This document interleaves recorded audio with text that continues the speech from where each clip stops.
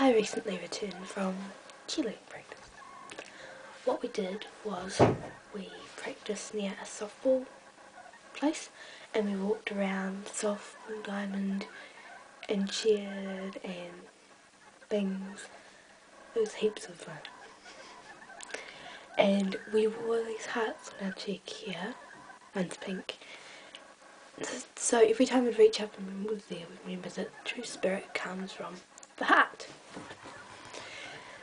Yeah, and it was really, really cool and I had heaps of fun.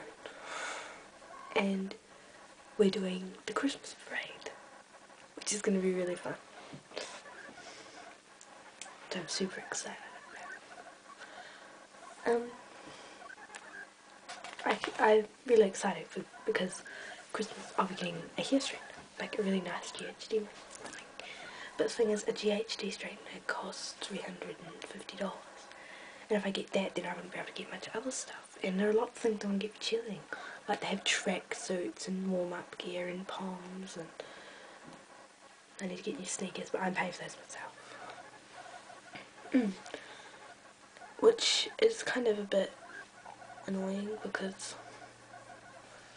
yeah, I really want to get GHD, but I really, really want get chilling stuff. Hmm. But apart from that, things have been alright. This guy at school today, he told me that he perved at me.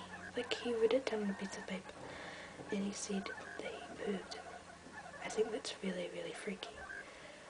And he said, and he's got a girlfriend and everything. Ugh.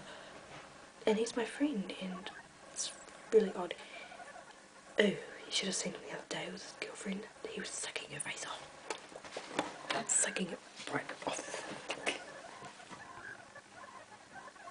It was weird. Mm hmm Well, yesterday was Halloween. My friend asked me if I want to go trick-or-treating with her. weird. And this other girl in my class, she's like, if you go trick-or-treating, it's supporting Satan. It's just little kids going around asking for candy. What's so Satan supporting about candy? Candy. Anyway, not much to report really. Hmm. Maybe in my next video I'll 小油呛嗨。